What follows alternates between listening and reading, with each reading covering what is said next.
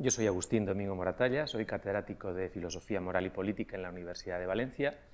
Eh, he colaborado con, la Iglesia en iniciativas que tienen que ver con economía social, con economía solidaria y eh, estoy preocupado por la doctrina social de la Iglesia y su implicación académica y la relevancia social que la reflexión que hemos hecho en la Iglesia tiene en las ciencias sociales.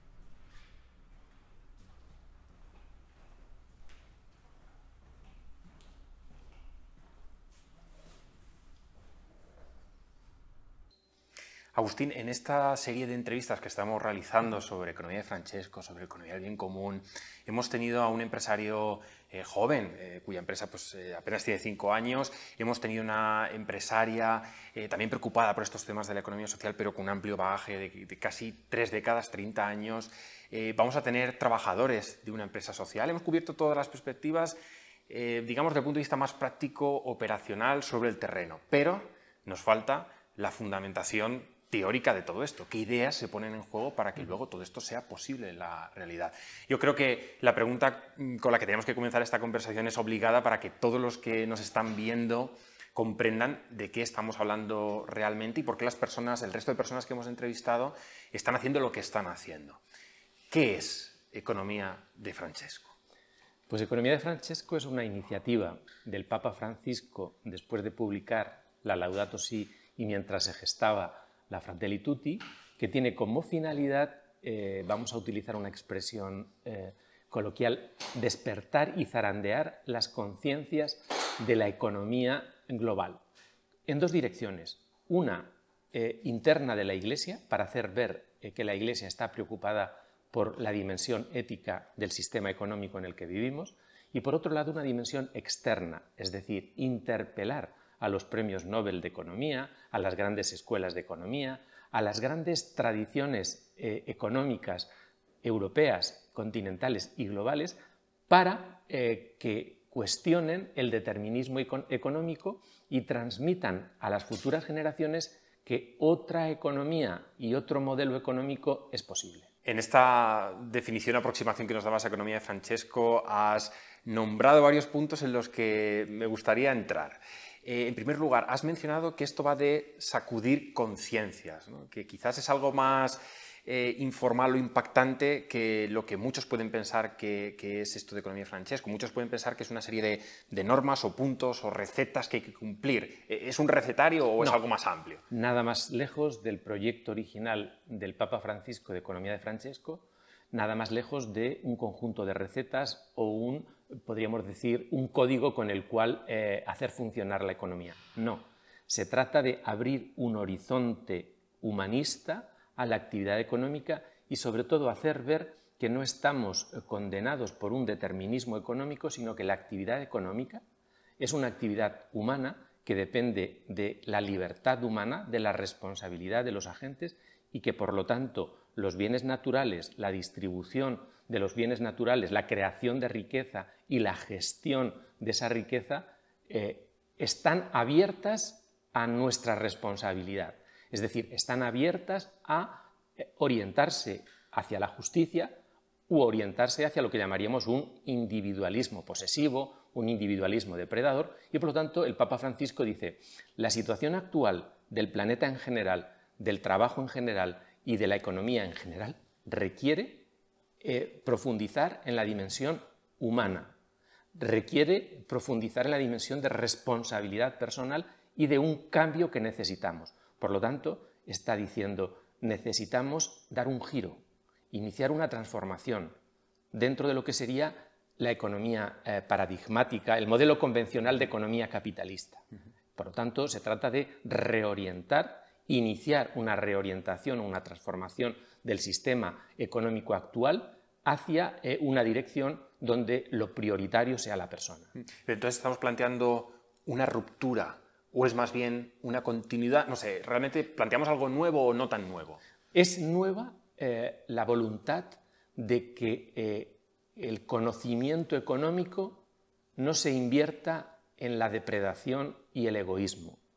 Es nueva esa voluntad de que las inteligencias de dos o tres generaciones de la economía se reorienten hacia la justicia y no hacia el egoísmo. Entonces, esa voluntad de, orientar las investigaciones económicas que luego van a ser operativas en la práctica económica hacia un mayor horizonte de justicia, esa iniciativa es nueva.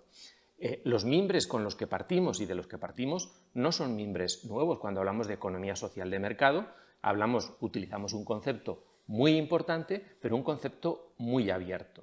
¿Por qué? Pues porque cuando hablamos de economía social de mercado, no estamos hablando única y exclusivamente de cuestiones mercantiles, sino que estamos hablando de modelos de sociedad, modelos de relaciones humanas que condicionan la actividad y la praxis económica.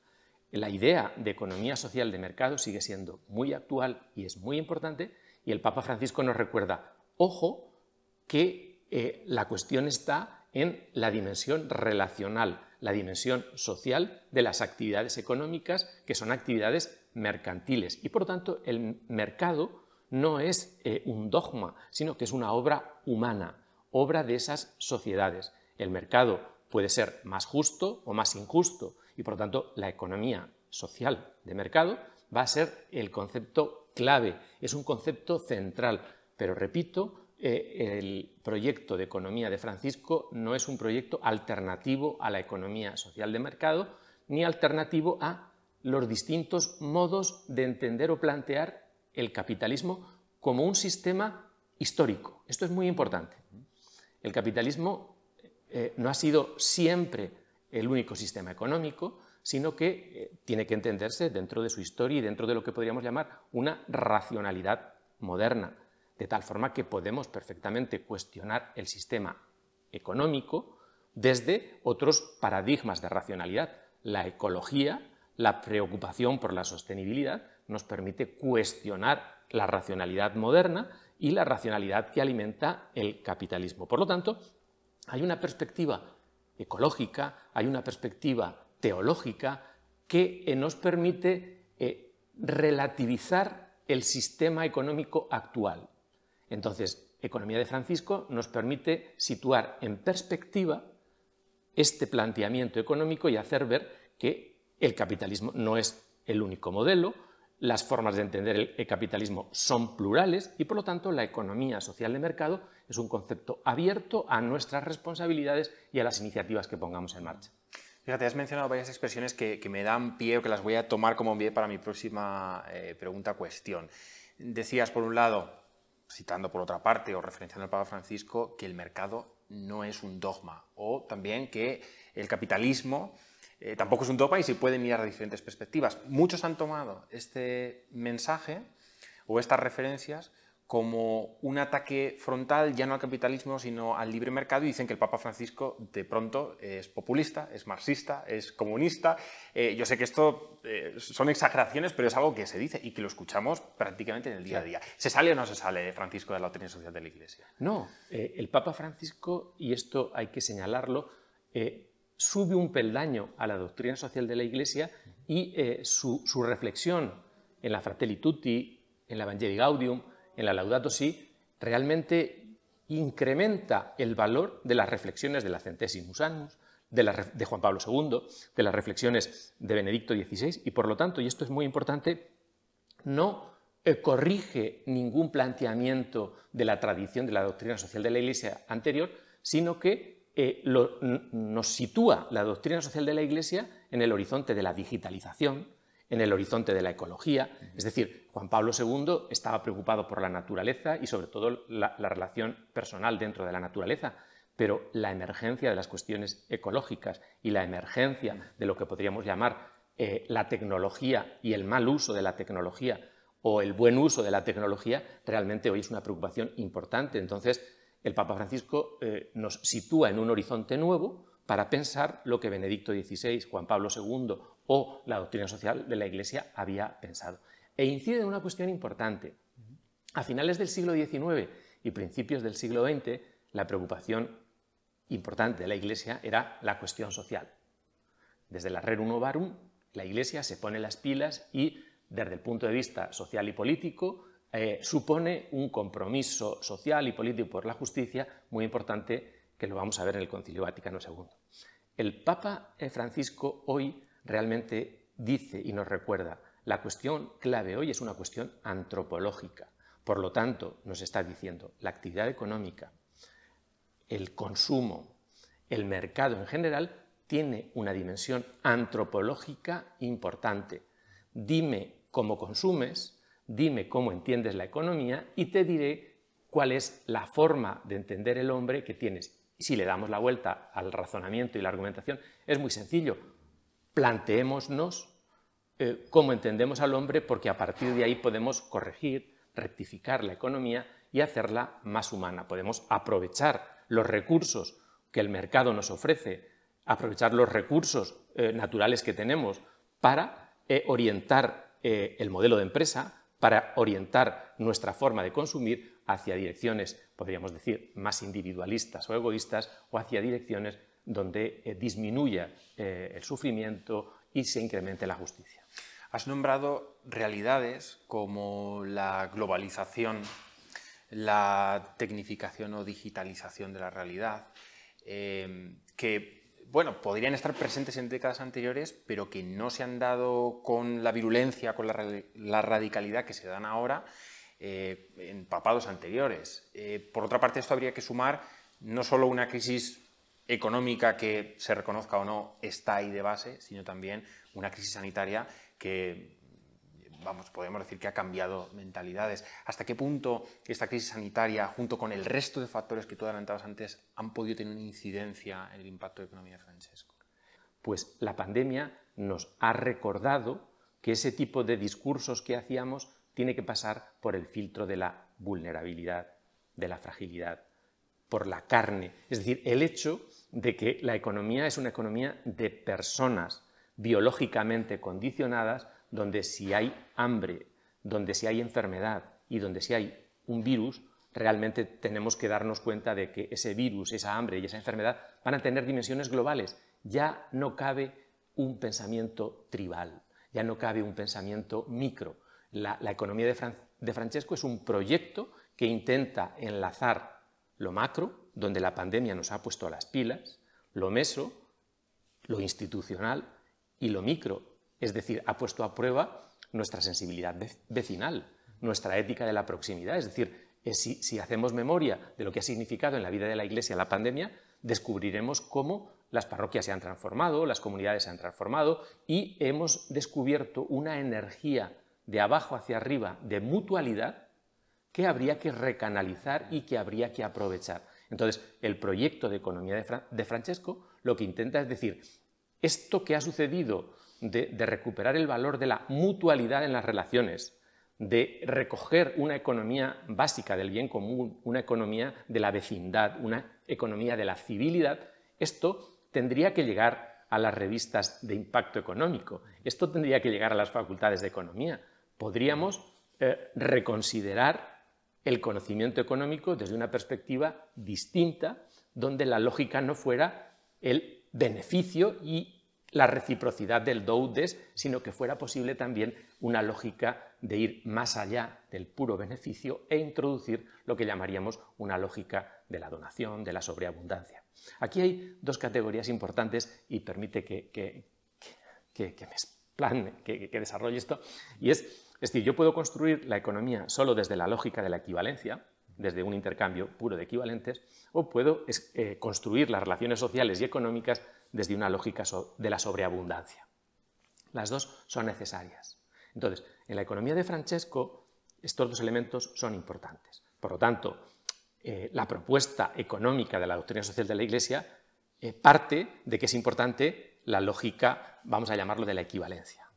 Necesitamos eh, conocer muy bien la economía de mercado, conocer muy bien cómo funciona la economía social de mercado, pero darnos cuenta de que el ser humano realmente se mueve por ese factor, vamos a llamarlo, de donación. Es decir, siempre ganamos todos más si damos un poco más que si damos un poco menos. ¿Por qué? Pues porque si eh, pensamos la economía solo desde la lógica de, la equivalencia, la cuestión es, eh, se desgasta eh, lo que podríamos llamar el sistema. Para, para que la actividad económica se regenere, hace falta una energía nueva y siempre hace falta alguien que podríamos decir, alguien que eh, se sacrifique, alguien que dé algo por los demás, alguien que, esté dispuesto a introducir la dimensión de, sobreabundancia, de donación, de generosidad y que no tenga miedo a ser eh, contracultural, a ser estigmatizado por los otros. Es decir, que necesitamos ejemplos de empresarios solidarios, necesitamos ejemplos de relaciones laborales más solidarias y necesitamos también iniciativas de una economía que no se rija única y exclusivamente por, el interés o el beneficio egoísta, sino por el interés común y el beneficio de todos. Esto que comentas sobre el arrojo, la valentía, emprender nuevas actividades económicas, pero desde un eje y una perspectiva distinta a la que quizás economicista ha ido guiando los modelos económicos hasta el momento. Claro, eh, yo escucho este discurso y escucho al Papa Francisco y en cierta manera no veo a una persona de cierta edad cambiando de golpe, eh, de forma brusca, esos modelos mentales. ¿no? Quizás es un mensaje muy para los jóvenes. Claro, pero, mm, eh, él está pensando en los estudiantes de economía que están haciendo el TFG, el TFM o la tesis doctoral. Es decir, la economía de Francisco no ha surgido para los académicos. El planteamiento de economía de Francisco tampoco ha surgido para los obispos, para que los obispos arreglen mejor sus diócesis. No, eh, Francisco está pensando en aquellos estudiantes que han terminado su carrera de economía y que están a punto de entrar en el mercado de trabajo de los economistas, donde pueden moverse única y exclusivamente por la lógica del puro beneficio y fortalecer la lógica del individualismo posesivo y del egoísmo capitalista, o estudiantes que pueden estudiar cómo funcionan los mercados de manera distinta, cómo las relaciones laborales pueden replantear y hacer reconstruir determinado tipo de empresas y cómo la confianza y las relaciones humanas pueden modificar el modelo de empresa o los modelos económicos. Entonces, eh, esto es clave. Economía de Francesco va dirigida a estudiantes, investigadores, científicos jóvenes, jóvenes que eh, están formándose y por lo tanto la apuesta no es para la actual generación, es una apuesta para futuras generaciones, de tal forma que eh, quienes luego tendrán responsabilidades eh, trabajen con la perspectiva de la solidaridad y la perspectiva de la fratelli Hablando de públicos objetivos, eh, a mí también me, sorprendía, y tú lo indicabas al principio de nuestra conversación cuando definíamos los primeros pasos de Economía Francesco, que el Papa Francisco además de dirigirse a los jóvenes, apunta muy alto y se dirige, insisto, tú mismo lo decías, a los premios Nobel, a los grandes líderes de economía, ¿Es la gran oportunidad de la Iglesia para liderar un cambio mundial? Vamos a ver, eh, tenemos que ser conscientes de la escasez de líderes globales. Es decir, si hacemos un panorama de liderazgo global, probablemente nos quedaríamos solo con un personaje, que es Francisco. Esto es importante. En un tiempo en el cual en Estados Unidos, en China, en África, en Europa hay una crisis de liderazgo, la Iglesia manteniendo su tradición y diciendo este tipo de cuestiones que, muchas veces pueden ser contraculturales porque reivindicar la fraternidad, reivindicar la responsabilidad y reivindicar, podríamos decir, la dimensión humana de la economía, esto eh, en el discurso dominante, en el paradigma dominante de, la sociedad de consumo, probablemente no da muchos puntos, pero a medio y largo plazo supone fortalecer un liderazgo moral, de tal forma que lo que diga Francisco, lo que plantee la perspectiva de Francisco o la economía de Francisco, eh, va a ser tenido en cuenta en todo el mundo. Por lo tanto, eh, la Iglesia eh, puede, puede presumir o podemos estar orgullosos del liderazgo de Francisco porque en este tipo de cuestiones realmente emerge este liderazgo que, que, en otros momentos pues estaba más volcado hacia adentro, pero en este momento eh, expresa una iglesia en salida que está dispuesta a retar al sistema económico como al sistema político o como al sistema eh, ecológico. Francisco, líder mundial, Francisco, figura popular, y ahora planteo, entre signos de interrogación, Francisco, populista. Bien, vamos a ver, eh, a ver, dependerá de qué entendemos por populismo. El Papa lo deja muy claro en la Fratelli Tutti nos dice, hay que evitar el populismo. ¿Por qué? Pues porque hace que el pueblo sea una tribu, hace que eh, la perspectiva cultural, educativa o económica sea una perspectiva cerrada. El populismo nos lleva a sociedades cerradas. Pero en la Fratelli Tutti también pide recuperar la dignidad del concepto de pueblo. Es decir, el concepto de pueblo es un concepto en la tradición, San Agustín lo plantea, toda la tradición de la Iglesia es importante, y por lo tanto eh, critica en la Fratelli, como se estaba diciendo, como te estaba diciendo, lo que sería lo que él llama planteamientos populistas y es muy duro contra los planteamientos populistas, pero también es muy duro contra lo que él llama el atomismo y el individualismo liberal que solo piensa en la persona como individuo que consume. Entonces, hay que hilar muy fino porque es muy fácil situar a un papa que viene de Argentina dentro de determinado tipo de tradiciones políticas, pero lo, realmente difícil, y esto es una exigencia intelectual eh, eh, importante, y es eh, seamos rigurosos a la, hora, de utilizar los adjetivos y cuando muchas veces se tacha al Papa Francisco de populista, tenemos que saber qué es lo que está diciendo o qué estamos entendiendo por populismo como tal. Entonces, creo que es justo o es justa la reivindicación que él hace de la idea de pueblo como categoría moral importante, pero también es justa la crítica que él hace al eh, planteamiento individualista porque el ser humano no es una abstracción o una ficción. Te plantearía, antes de que vayamos eh, despidiendo la, conversación, que nos detengamos a pensar en, el futuro, en diversas cuestiones, dos, tres cuestiones.